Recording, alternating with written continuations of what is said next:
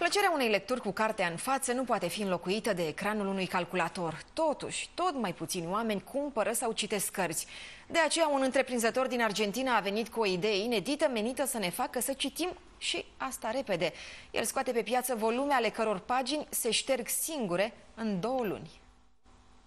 O carte obișnuită, dar cu un titlu care te pune pe gânduri. Cartea care nu poate aștepta și e cât se poate de adevărat. Dacă nu e citit în maximum două luni, literele se estompează până dispar complet. Și nu e magie. E un proiect inedit al unei edituri din Argentina care își dorește ca oamenii să citească repede și din cărți adevărate, în detrimentul lumii virtuale care câștigă din ce în ce mai mult teren. When you go to the bookshop, or when you went rather, because now it's sold out, the book was sealed in an airtight packaging closed.